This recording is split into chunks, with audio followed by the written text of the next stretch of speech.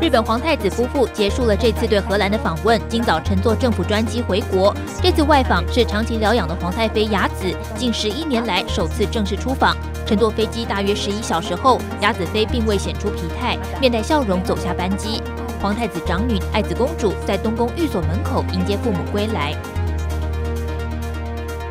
纽约主计长市长参选人刘纯义的主要筹款人潘兴武和前财务主管侯家涉嫌为刘纯义竞选期间非法筹款一案，在纽约南区联邦法庭经过两周庭审之后，五月二号陪审团对两名被告作出有罪结论。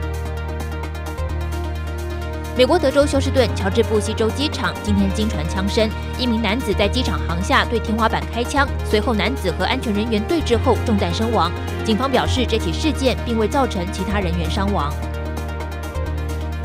美国加州今天发生森林大火，火势一度威胁民宅，加上与加州州立大学位置很接近，大学教职员和学生以及附近居民全部疏散。金航亚太电视整理报道。